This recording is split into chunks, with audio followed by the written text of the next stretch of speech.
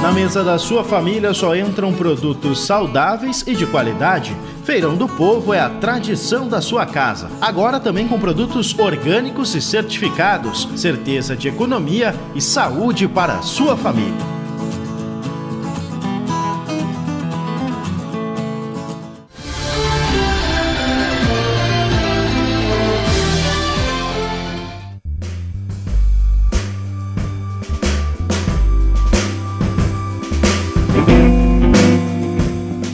Qual a importância de receber um novo equipamento da Brigada Militar, uma nova viatura dentro deste, dentro deste contexto que a gente está apresentando por aqui? Muito boa tarde.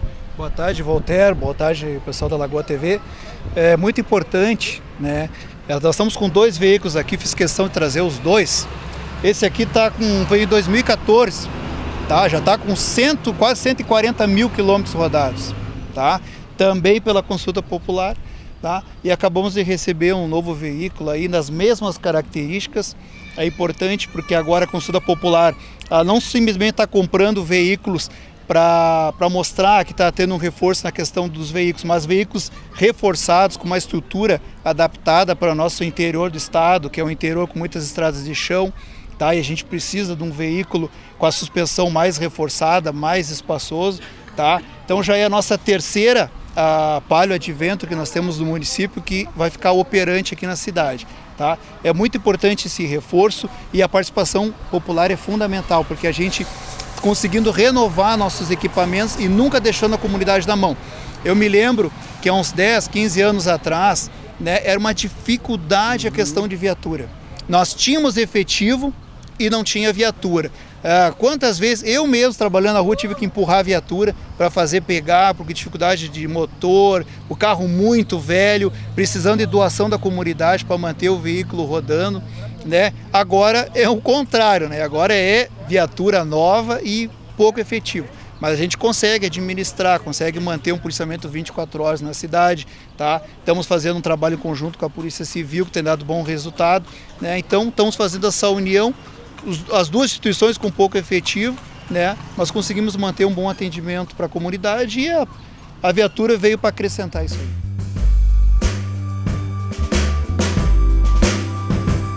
Qual a importância desse ato em estar tá vendo a Brigada Militar, que muitas vezes, em muitas operações, atua ao lado da Polícia Civil, ganhando esse reforço, na tua opinião? Boa tarde.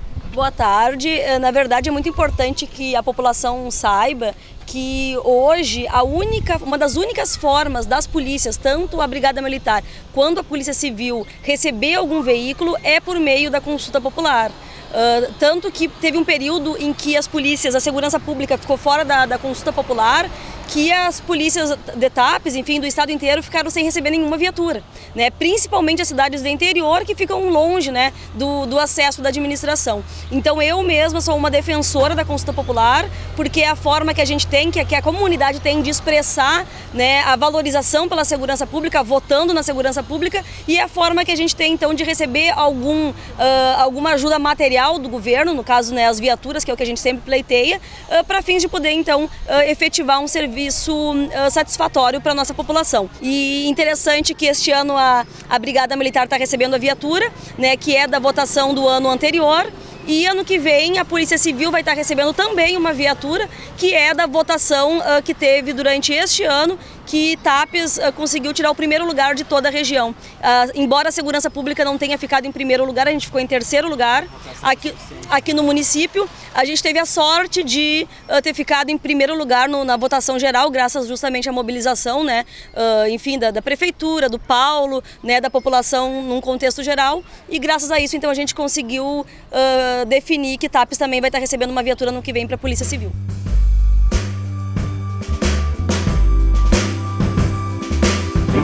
Coordenador da Sala do Empreendedor, Paulo Emílio Silveira, esse ano foi um trabalho um pouco diferente, né?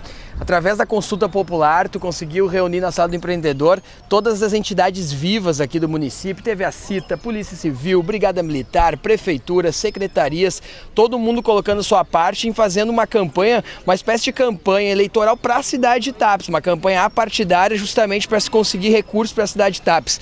Deu certo e hoje a gente está vendo já o resultado disso tudo, o resultado da consulta popular em prol da população, que é quem vai usufruir os benefícios da segurança pública pública aqui na nossa cidade. Boa tarde. Boa tarde, Walter. Boa tarde aos que ouvem a Lagoa TV e assistem.